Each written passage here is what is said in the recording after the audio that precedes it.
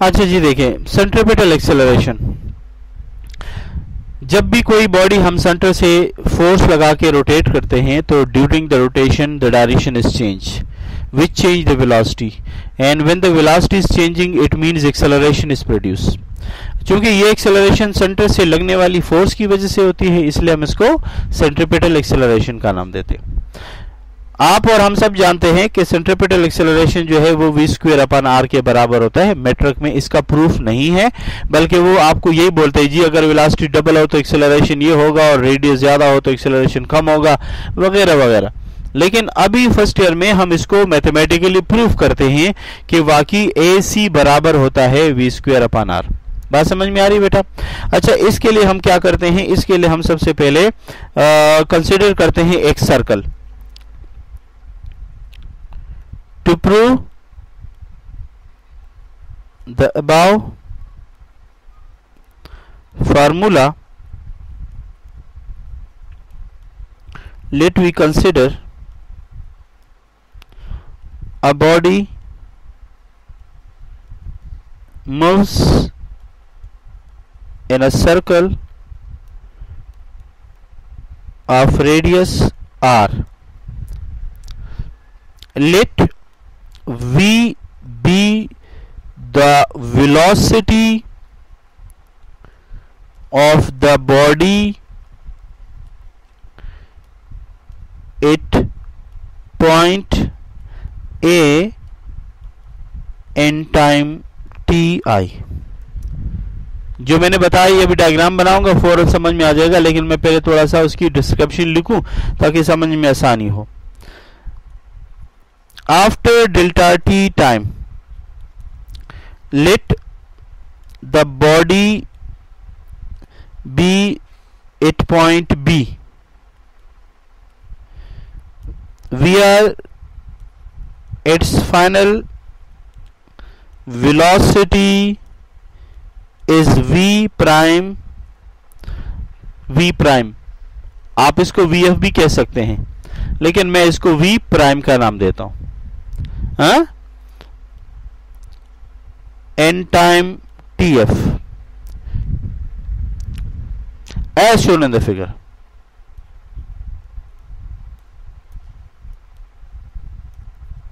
बिल्कुल गौर से देखें। ये मेरे पास कोई सर्कल है। ये इसका सेंटर है। ये इसका रेडियस है। जब शेरदिल यहाँ था तो ये इसकी लीनियर वेलोसिटी v है। लेकिन आफ्टर डेल्टा टी टाइम यानी यहाँ पे टाइम कितना था? टी आई लेकिन जब टाइम कितना बना? जब टाइम बना उसका डेल्टा टी टाइम के बाद यहाँ पर फाइनल वेलोसिटी तो यहाँ पर इसकी जो वेलोसिटी है वी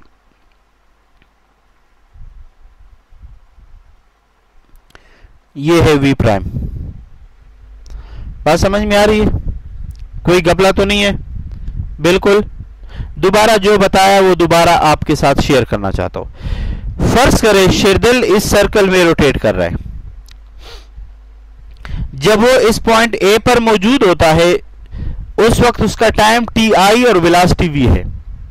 लेकिन डेल्टा टी टाइम गुजरने के बाद वो किसी पॉइंट बी पे पहुँचता है, जहाँ पर उसकी फाइनल वेलोसिटी वी आई है, और इधर इसका टाइम है टी एफ़ बात समझ में आ रही है? किसी को कोई डाउट है? बिल्कुल नहीं है। आप वी एफ़ का नाम दे दो, मैंने उसको वी प्राइम का क्योंकि बुक में वी प्राइम इस्तेमाल होता है। तो आप बुक को, की जो टर्मिनोलॉजी है ना, उसको यूज़ करो।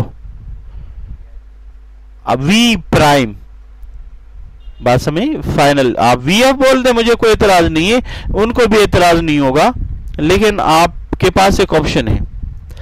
अब जरा मुझे बताइए, मैं इसको नाम देना चाहता हूँ, लेकिन नाम से पहले मैं एक डायग्राम के अंदर थोड़ा सा चेंजेस करना चाहता हूँ, और वो चेंजेस ये है। मुझे एक बात बताइए, अगर मैं इसको पीछे की तरफ़ ड्रा कर दूँ हाँ जी? अगर इसको मैं पीछे की तरफ़ ड्रा करूँ तो यकीनन ये यहाँ मिलेगा या नहीं मिलेगा? और देखिए, अगर मैं इसको आगे की तरफ़ लेके जाऊँ तो मुझे बात बताइए, क्या ये आपको एक दोबारा ट्राइंगल मिला? और याद रखिए, ये जो ट्राइंगल आपको मिला ये इस वाले ट्राइंगल के बराबर ही होता है। अगरचे यहाँ इनका जो फ्रंट साइड है, ये कर्व है कर्व आर्क ए बी लेकिन अगर इस बी को कम कर दिया जाए तो ये ट्राइंगल इस ट्राइंगल के बराबर हो जाता है। बात समझ में आ रही है? अच्छा जी, देखिए। इस वक्त मेरे पास दो ट्राइंगल है। ए का सेंटर है ओ और इसका सेंटर है ओ प्राइम ये है मेरे पास ए तो ये वाला मेरे पास है ए प्राइम इस ट्राइंगल का ये वाला हिस्सा बी तो इस ट्राइंगल का ये वाला हिस्सा बी प्राइम किसी को एतराज़ नहीं होना चाहिए भाई. ये एंगल जितना होगा, उतना ही ये एंगल भी होगा. मतलब ये ट्राइंगल इस ट्राइंगल के कॉन्ग्रेंट है, बराबर है. बराबर हो तो मैं आगे कुछ हिसाब किताब करूँगा, ठीक है भाई? तो मैं लिखूँगा from the figure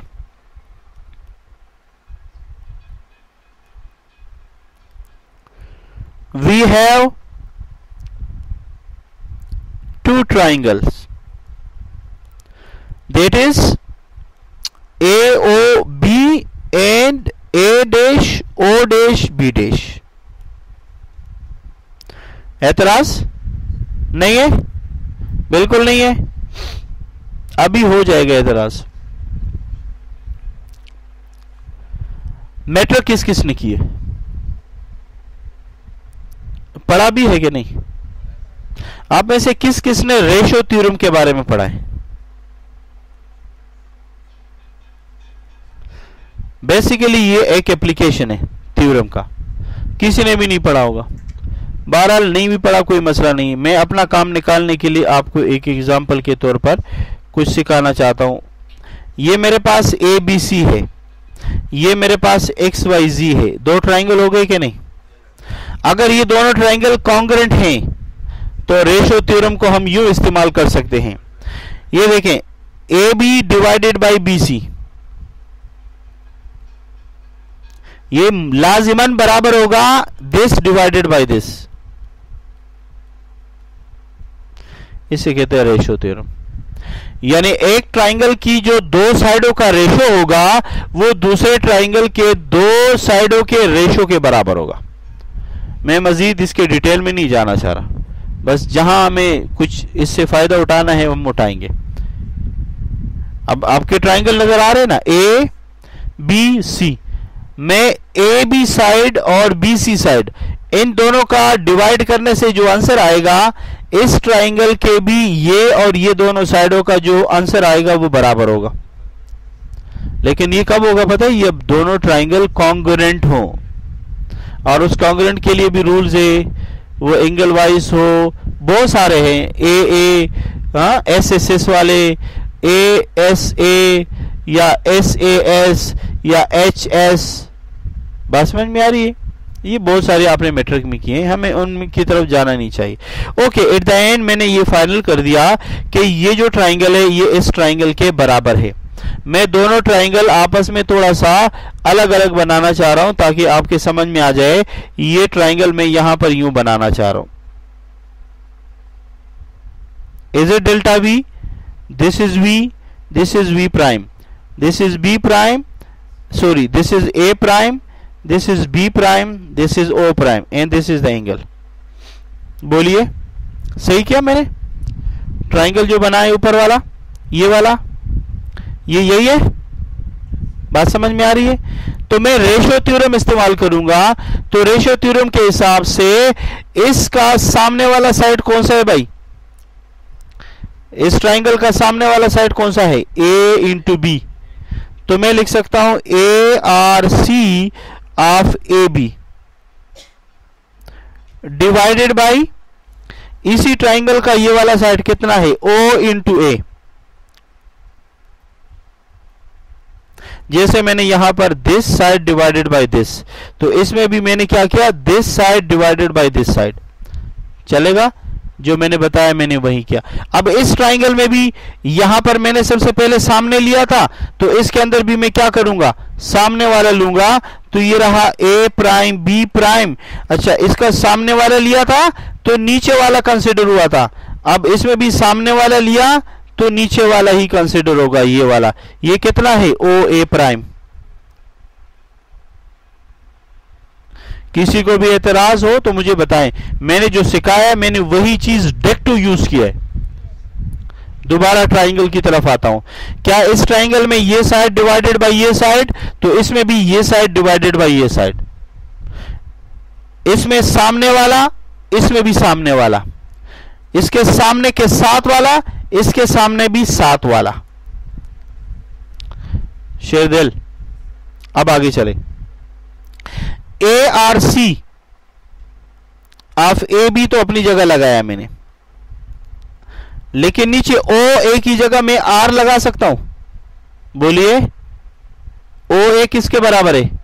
are radius लगा दिया। और देखिए, A dash, B dash, delta V के बराबर है। ये डेल्टा वी लगा दिया। और देखिए, ओ, ए डैश क्या वी के बराबर है? लगा दिया। बोलिए, कोई गपला तो नहीं हुआ? इस आर को, इस आर को यहाँ लेके आऊँ? ये देखें ए आर सी ए बी बराबर है R delta V divided by V किसी को एतराज़ है? ओके अब जरा गौर से देखें। फिर कोई कमाल करने वाला हूँ। ए से लेकर बी तक ये रास्ता सीधा तो नहीं है ना? कर्व। इसलिए तो हम ए आर सी लिखते हैं। आर्क यानी टुकड़ा। कर्व है कर्व मुझे बताइए, अगर टाइम बहुत कम हो जाए फ़र्स्ट करें ए से लेकर बी तक उसने चार घंटे लगाए हैं। अगर दो घंटे हो जाए तो ये दरमियान में आ जाएगा। चार घंटे में ए से बी तक है। अगर दो घंटे लें तो दरमियान में, एक घंटा लेगा तो उससे उससे कम लेगा तो उससे। यहाँ तक के टाइम बहुत कम हो जाए तो बी ए के बहुत करीब हो जाएगा। बात समझ में आ रही है? मैं लिखता हूँ कि अगर फ़र्ज़ करें F delta T is very very small then point B will be very very closed to point A. अब मुझे एक बात बताइए, ज़मीन गोल है कि नहीं? चलो गोल है या नहीं है एलेप्टिकल तो है ना। आपका घर गोल है क्या? महमूदाबाद गोल है क्या? क्यों भाई? इसलिए कि ये ज़मीन का बहुत छोटा हिस्सा है। तो जब बी ए के करीब हो जाएगा तो कर्व खत्म हो जाएगा स्ट्रेट लाइन हो जाएगा। बात समझ में नहीं आई? मैं एक मिसाल दे रहा हूँ, देखो। ये क्या है? करवे। दो टुकड़े कर दो। अब भी करवे। अब भी करवे। बताओ, इस दोनों के दरमियान क्या ये करवे क्या? Straight line. तो जब डेल्टा टी बहुत स्मॉल हो तो बी ए के बिल्कुल करीब हो जाएगा, और ये जो अर्क ए भी है it becomes a straight line. An A R C an A R C of A B becomes a straight line और आपको मालूम होना चाहिए स्ट्रेट लाइन जो है, उसका फार्मूला क्या है? एस बराबर V T so A R C of A B becomes delta S. and this is V delta T तो मुझे बताइए, इसकी जगह मैं ये लगा सकता हूँ कि नहीं? लगा दिया। V डेल्टा टी बराबर R delta V divided by V. एतराज़ तो नहीं है भाई। अब जरा ये V इसके लिए लाओगा तो V स्क्वायर हो जाएगा। ये V इधर लाया तो V स्क्वायर हुआ। और ये डेल्टा टी इस डेल्टा वी के नीचे लगा दिया। और ये आर इसके नीचे ले आया। एतराज़ तो नहीं हुआ? देखो, इस v को इसके साथ ले आया। स्क्वायर हुआ। डेल्टा टी v की जगह ले आया। डेल्टा टी हुआ। इसके साथ जो गोद में r है r उसके नीचे लेके चला गया। अब बताओ, मैंने डेल्टा टी के बारे में कुछ बताया है? जी, क्यों नहीं बताया? मैंने बताया कि it is very very small तो लिमिट का तरीका है, दोनों तरफ़ लगाएँगे। और क्या ये इंस्टेंटेनियस एक्सेलरेशन है क्या नहीं है? बोलिए ए आई एन एस और याद रखिए, यही सेंट्रिपिटल एक्सेलरेशन का काम करके दे रहे बताओ, आया कि नहीं? बोलिए। अब आप कहेंगे, सर, यहाँ से तुमने गायब कर दिया। तो मैं आपका एक ही जवाब दूँगा कि अगर यहाँ डेल्टा टी होता, उसकी जगह में ज़ीरो लगाता। लेकिन चूँकि डेल्टा टी नहीं है तो इसलिए मैं इसको खत्म करने का मजाज हूँ। ये आप लिमिट चैप्टर नंबर वन में पढ़ेंगे सेकंड ईयर की मैथमेटिक्स में। लिमिट खत्म करने का तरीका होता है कि जहाँ डेल्टा टी नज़र आए, वहाँ ज़ीरो लगा दो। फिर आप कहेंगे, सर, यहाँ डेल्टा टी तो है, ज़ीरो क्यों नहीं लगाया? तो मैं आपको जवाब दूँगा, बेटा, इस पूरे की डिफिनीशन ही ये है। इसलिए इसको लगाने की ज़रूरत नहीं है। ये पूरा डिफिनीशन है किसकी? इंस्टेंटेनियस एक्सेलरेशन और यहाँ पर जो एक्सेलरेशन है, वो क्या है? Instantaneous acceleration as act as a centripetal acceleration बात समझ में आ रही है? So I can that A C is equal to V square over R which is the require equation is it clear done है जी सो थोड़ा सा हार्ड है बट नॉट डिफ़िकल्ट